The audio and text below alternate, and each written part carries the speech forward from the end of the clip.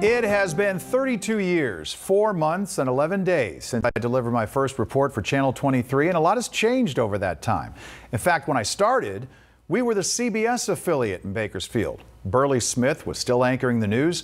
The Bakersfield Dodgers played at Sam Lynn Ballpark, and the population was somewhere in the vicinity of 180,000. We're now over 400,000. Well, for those of you who have been along for the ride, you know that KERO TV has undergone many changes over the last three decades, and we're doing it again. I'm stepping away for the anchor desk after 17 years on the morning shift. Now, I'm not leaving 23 ABC. I'm taking on more of a managerial role, overseeing the next generation of reporters who will be delivering the news from all corners of Kern County. People have asked me for many years if I will miss this. Well, sure. I grew up in front of the camera.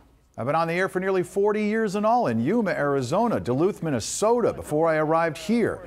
Starting out in sports gave me the chance to learn every facet of broadcast storytelling, shooting my own video, writing, producing, editing, and anchoring, much like our reporters today.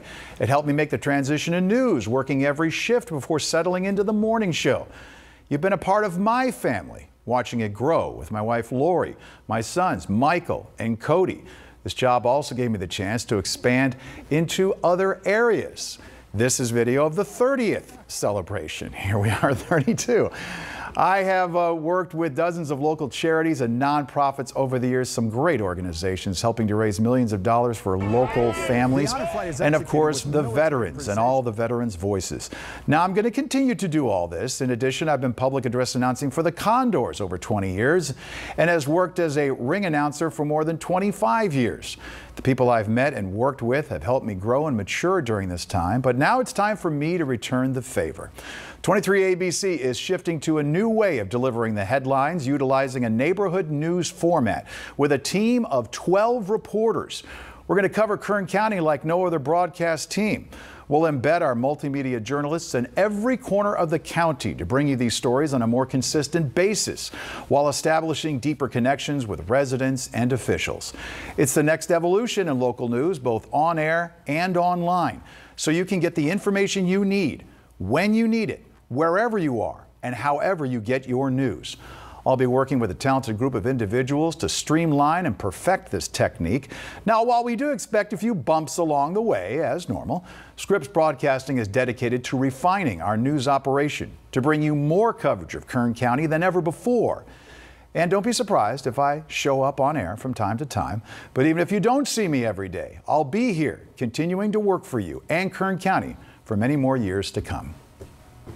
And of course, Where'd through all those from? years, I know. Good morning. I'm back. I had to come back though because to send you off the desk, we really want to show you just how much you have meant to our station, and not only to the station and the community, but to each and every person who has worked with you over the years. Oh, wow. Go ahead and roll it. Mike Hart is a legacy here at 23 ABC. His face literally lines the halls of our news station. Around here, he's everyone's go-to guy, and it's been that way for the last 30 years. It's a scrimmage. It's the first game of the year. This week is boxing. Boxing this Wednesday night from the Strongbow Stadium. And who can forget legendary rockers Twisted Sister and their classic hit, We're Not Gonna Take It. Yeah, that's right. You like this? You like this? Yeah, this is uh, Ryder Kisner right here. I'm Mike Hart. Here's a look at what we're following. Hey, Mike, it's Todd and Jackie. Hey, Mike, it's Casey. Hi, Mike. Callan here. Hi, Mike. It's Leslie. He he's a real TV guy, so we're like trying to give him the. Somebody said, Well, how long are you going to do this? How long will you stay on the air? And I said, As long as they'll have me. I don't even know where to begin. You were the best coworker I've ever had in my life. You and I go back to the sports days back in the 90s, which was a whole lot of fun. We throw the word legend around quite a bit, but I truly mean that when I say you you are a legend. Mike, you have been a constant in Bakersfield for all of these years. Everyone has been relying on you, waking up with you. My favorite Mike Hart memory, though, has to be watching you take mini naps during VOSOT breaks. It is 612 right now. We had some crazy hours waking up at 2 a.m. And I don't know how you've done it for so many years. You have obviously made such an impact on so many people. You have been on there for decades. That's why I chose to stand over this motorcycle. Because it, too, has got quite a few decades on it. Bakersfield was just so lucky to wake up to you every morning.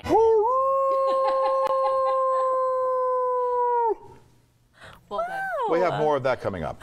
That was really good. You've always been my mentor, but most of all, you've been my friend. You mean a lot to us. Um, You've been everything to us, a shoulder to cry on. You've given us advice, career advice, personal advice, and my God, have you made us laugh. Take three in three, two, one. I'm Mike Hart. As we continue our search, Center 13. The Warner Brothers Yakko. I can't even say this. Yakko and Yakko and Wakko. Congratulations on such a wonderful on-air career in Bakersfield. You helped so many of us young journalists. I would not be the journalist I am today if I didn't have the honor, the honor of starting my career learning alongside of you. I can never thank you enough for all of the kindness and support that you showed me while I was out there in Bakersfield. You really helped it feel like home. Every single day when I walked into work, you were the same person. Genuine, same guy on air as off air. You know, this is this is our home. Right about at the end of my first contract, I met Lori, and then we got engaged, and we got married, and she became pregnant with Michael. I've lived a life that's full. I traveled each and every highway. It has been a pleasure to work with you, but most importantly, it's been a pleasure to be your friend. Uh, they're coming off the buses as we prepare to head down to the Vietnam Wall. For the entire veteran community, Kern County, Bakersfield, you have been our voice, Mike. In another year of coverage for our military men and women as we continue our weekly series of Veterans Voice. Thank you for so many amazing stories and so much love of the house since before it opened. Both you and Lori.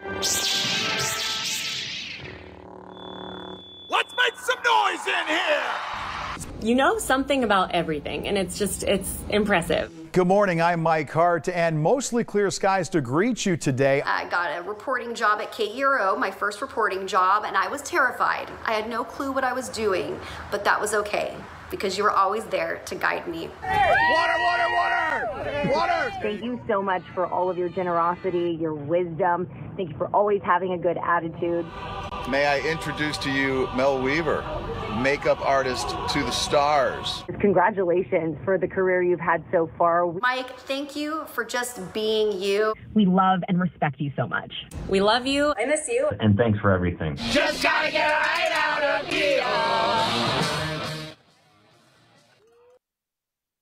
Well, there you have it, Mike. You truly. Oh, I thought I deleted a lot of that. Mike, if I could include everybody who everything that they said and everybody who you've touched over the years through this career, I mean, that video would have gone on all day because you truly have just, and speaking for myself as well, you truly have just helped all of us grow so much in this industry. You're always there for us, supporting us, and you truly mean so much to so many of us. Well, and the nice part is, is that I am going to be staying here, and we're going to Yes. continue our relationship together and our relationship together, Yeah, and yeah. everybody that's here. But as uh, what you're saying, as far as everyone, I mean, that's reciprocal. It's all the people that I've met over the years that continue to this day coming up saying, "Do you remember me? It was back in 1993," and I'm like, "Hang on, yeah, help me out, yeah."